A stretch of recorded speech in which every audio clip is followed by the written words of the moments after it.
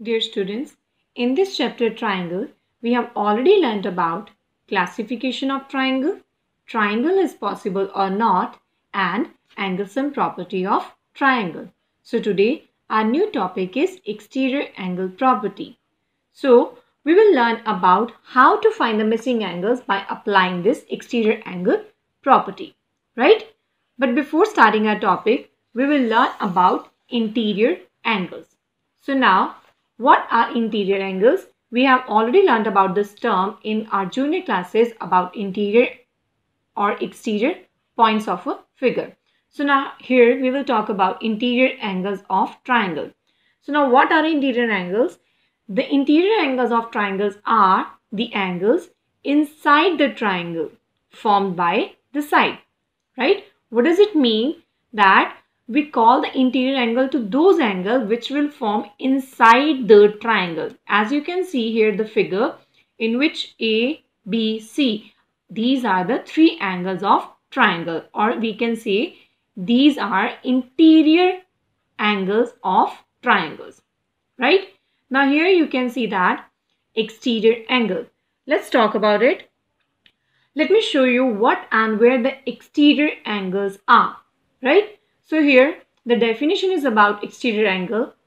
The exterior angle of triangles are the angles formed by extending the any of side of triangle, right? So what does it mean? That exterior angle, for getting exterior angle, we can extend any one side of triangle. Let us suppose I'm extending in this triangle, this line, this side, right? So here you can see these three figures in which I have extended the lines, the sides, right? So here ABC is a triangle and I am extending here BC to point D. And here you can see this red color, it will represent the exterior angle. Why it is an exterior angle? Because exterior angles always formed by extending the side, any side of triangle, right? So here I am extending this side and this will make an exterior angle outside the triangle. And rest of all these three are interior angles. Now, in this second figure, you can see I am extending here this AC line, right? So now here AC side, I am extending this to point D and now here you can see that here this red color represent the exterior angle. And other rest of all three angles are interior angles right?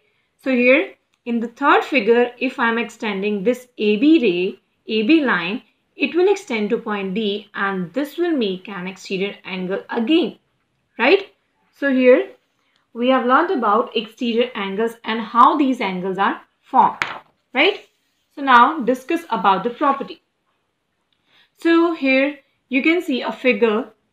I have taken a figure of a triangle in which I have taken one exterior angle and the other two opposite interior angles.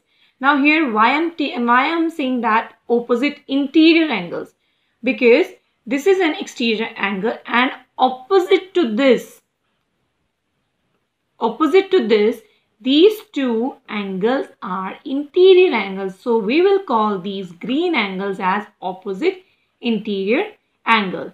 And this red color will show us an exterior angle. Right? So here you can see the property from this figure. We can make a property of exterior angle. What is that? Exterior angle is equals to sum of two opposite interior angles. Right? So uh, this is such a big property in written. So here you can squeeze it by writing the short form of these angles of exterior angles. So you will write here ext means exterior and you will make the symbol of an angle of triangles. And also you know that we can show the triangle by the symbol is equals to sum of two opposite interior angle. OPP means opposite, INT means interior and this is angle. So exterior angle of triangle is equal to sum of two opposite interior angles. Right? So now next we are having the example. So we will take an easy example to understand this property in a better way. So here, let's take an example number one. In this figure, what is given to you? You can see that here a figure, here is shape of triangle and BC line has been extending to the point D, right?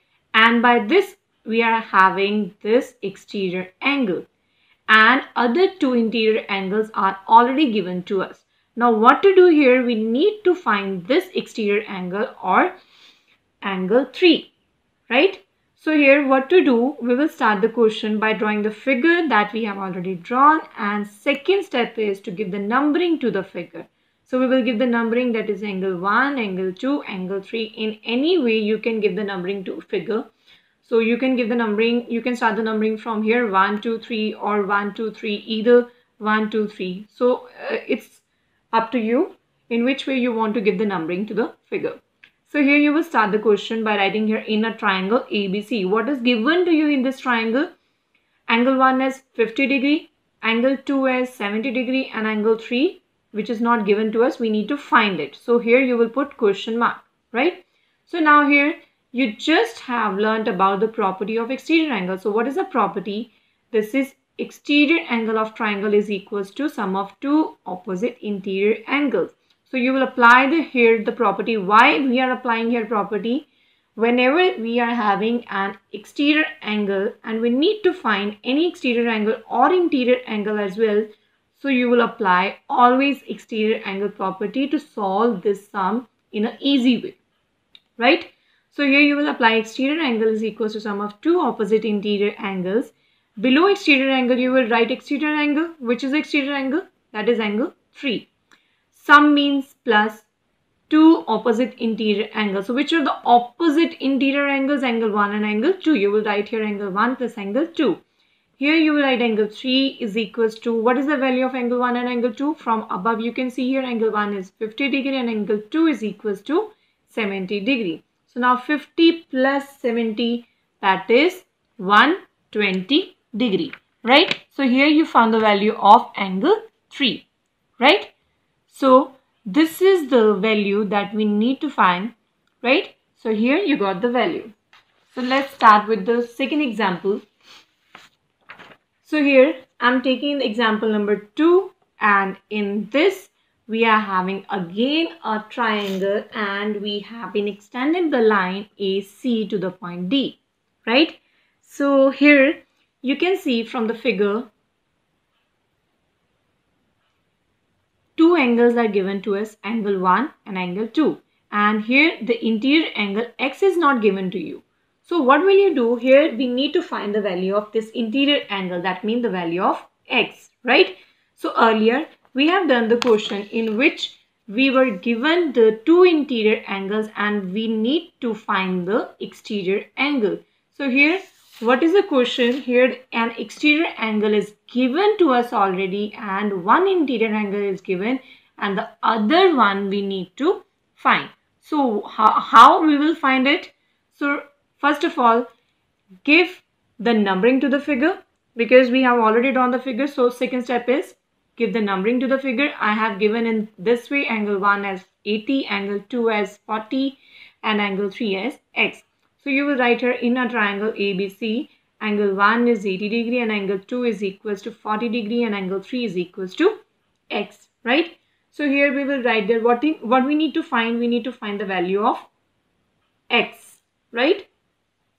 So here again, because we have an exterior angle, so you will apply the property of exterior angle. What is the property? An exterior angle of triangle is equals to sum of two opposite interior angles, right?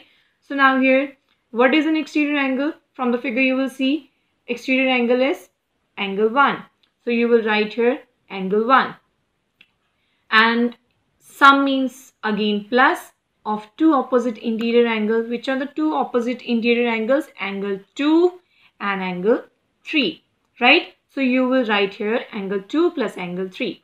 Right? So now here you can see angle 1 what is the value of angle 1 which is given to you that is 80 degree so you will write your 80 degree value of 2 angle 2 is 40 degree and angle 3 is equals to x right now here what you will do you can see here 80 degrees equals to 40 degree plus x. Now this concept you have already done in the fifth, in sixth standard, right? And what to do because we need the value of x so you will not touch this. So you will shift 40 to the other side. So whenever we will change any number to the other side, it will automatically change its sign. So what is the sign of 40? No sign means plus sign and when you will change this plus sign, it will change into negative. So here you will write 80 minus 40. That is 80 minus 40 means what? 40 degree or you can write here x is equals to 40 degree. So now you got the value of angle 3. So angle 3 is equals to 40 degree. This is what we were talking about. We need to find the value of angle 3 or you can say that angle A or value of x. So you, here you found the value of x as well as angle 3. So students, these were very easy example and now I hope all of you are able to do the related worksheet that have been already sent to you in your SNAP homework. But before starting the worksheet, student please go through the YouTube links that we have already sent to you in your SNAP homework. Thank you.